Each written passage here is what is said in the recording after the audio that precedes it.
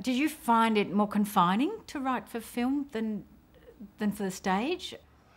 Oh, in a sense, I do because um, yes, uh, my first love is the way people use and misuse language. Um, I after I finished engineering at university, I, I, my, my real passion was psychology. I went back and did an MA prelim in psychology, specialising in social psychology, and I was about to, to do postgraduate work in that area. And um, status, power, interpersonal manipulation, um, the use of language to do that was part of where I was going as a psychologist. And in a sense, the stage work was just uh, a laboratory on stage, if you like. It's how people manipulate, use, fool themselves, fool others, um, uh, the quest for power, uh, the struggle for status, all of that, in a sense, is a study of language and the way people use it. So on the stage, I really have fun with the way people use and misuse language. Now, you can't do that to the same extent on film because film, as I said, is a much more visual medium.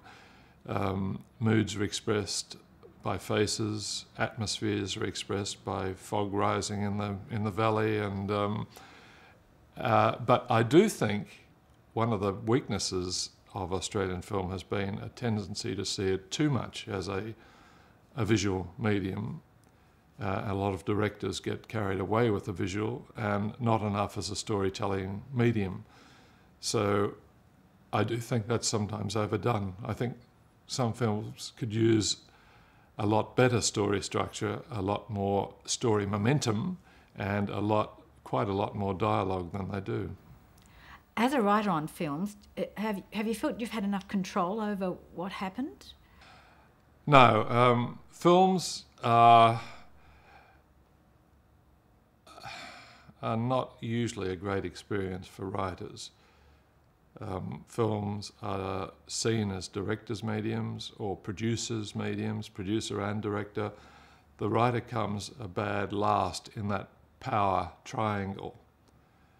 In a sense, you feel like you're there to write to prescription, to write to someone else's vision, which is irritating because the thing that writers can do is structure a story create characters, create believable dialogue, and generate a story momentum. And so it is frustrating when sometimes when a director believes it's their right to do all of that and you're just there as their um, transcriber. Doesn't always happen. There's, I've had a lot of respect from some, some directors, but um, uh, there's an expression I hate in film when the directors say, okay, you've done a very good script, but I've got to put my stamp on it. Now, the stamp can usually be a heavy jackboot, um, and I think the French have got a lot, of, a lot to answer for by inventing the auteur theory, that the director is the author of the film. No such thing. In, in, its best, it's a collaboration between different talents. And the chances that a top director, good at getting performances out of actors and good at uh, visual language, will also be a top writer, are fairly small. Um, so I think we would have done a lot better with more respect for writers and a separation of powers uh, in a sense. I think a few less directors putting their stamp on very well written scripts uh, would have paid dividends.